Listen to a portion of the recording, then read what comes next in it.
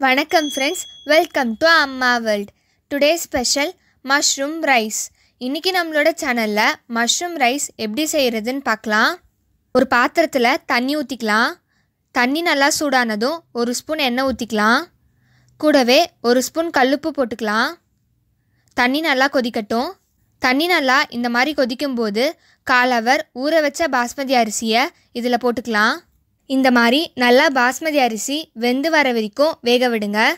இப்போ இந்த சாதத்தை தனியாக வடித்து எடுத்து வச்சுக்கலாம். ஒரு கடாய் வச்சுக்கோங்க. கடாய் சூடானதும் நாலு ஸ்பூன் எண்ணெய் ஊற்றிக்கலாம் எண்ணெய் நல்லா காஞ்சதும் பொடியாக நறுக்கின ஒரு ஸ்பூன் இஞ்சையும் பொடியாக நறுக்கின ஒரு ஸ்பூன் பூண்டையும் போட்டுக்கலாம். ரெண்டுத்தையும் போட்டுட்டு நல்லா வதக்கிக்கோங்க. ஒரு பெரிய வெங்காயத்தை நீட் நீட்டாக கட் பண்ணி வச்சுருக்கேன். அதே இதில் போட்டுக்கலாம். வெங்காயம் கட் பண்ண மாதிரியே அரை குடமிளகாவையும் நீட் நீட்டாக கட் பண்ணி போட்டுக்கலாம். வெங்காயத்தையும் குடமிளகாவையும் நல்லா வதக்கிக்கலாம். உங்களுக்கு தேவையான அளவு உப்பு போட்டுக்கோங்க. வெங்காயம் நல்லா பொன்னிறமாக வர வரைக்கும் நல்லா வதக்கிக்கோங்க. இப்போது நீட் நீட்டாக கட் பண்ணி வச்சுருக்க மஷ்ரூமை போட்டுக்கலாம். நான் ஒரு பேக்கெட் மஷ்ரூம் போட்டிருக்கேன். மஷ்ரூமை போட்டுட்டு நல்லா வதக்கிக்கலாம். மஷ்ரூமில் இருந்து தண்ணி விடுற வரைக்கும் நல்லா வதக்கிக்கோங்க.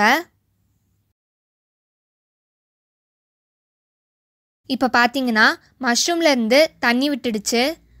இப்போ இதில் ஒன்றரை ஸ்பூன் மிளகுத்தூள் சேர்த்துக்கலாம். மிளகுத்தூள் சேர்த்துட்டு நல்லா கிளறிக்கலாம். மஷ்ரூம் உடம்புக்கு நல்லது. இந்த மஷ்ரூம் ரைஸை நம்ம சீக்கிரமாக செஞ்சிடலாம். பசங்களும் இந்த மஷ்ரூம் ரைஸை விரும்பி சாப்பிடுவாங்க. இப்போ இதில் வடித்து வச்சுருக்க பாஸ்மதி அரிசியை சேர்த்துடலாம். நல்லா மிக்ஸ் பண்ணிக்கோங்க.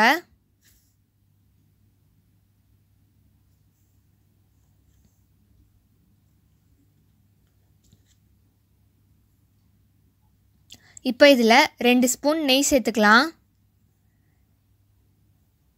நெய் சேர்க்கறதுனால மஷ்ரூம் ரைஸ் இன்னும் டேஸ்ட்டாக இருக்கும். கூடவே கொஞ்சமாக பெப்பர் தூள் தூவிக்கலாம். நெய்யும் பெப்பர் தூளும் சேர்த்துட்டு நல்லா கலந்து விட்டுக்கலாம். இப்போது சிறிதளவு கொத்தமல்லியை போட்டுட்டு மிக்ஸ் பண்ணிக்கலாம்.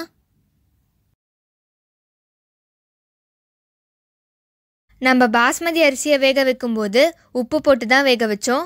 அதே மாதிரி வெங்காயம் வதங்குறதுக்காகவும் உப்பு சேர்த்துருக்கோம். அதனால உப்பு சரியாக இருக்கான்னு பார்த்துட்டு தேவைன்னா உப்பு போட்டுட்டு மிக்ஸ் பண்ணிக்கோங்க. இப்போ நம்மளோட சூடான சுவையான மஷ்ரூம் ரைஸ் சர்வ் பண்ண தயார். இந்த வீடியோ உங்களுக்கு பிடிச்சிருந்தா லைக் பண்ணுங்கள் ஷேர் பண்ணுங்கள் மறக்காமல் அம்மாவல் சேனலை சப்ஸ்கிரைப் பண்ணுங்கள் நன்றி வணக்கம்.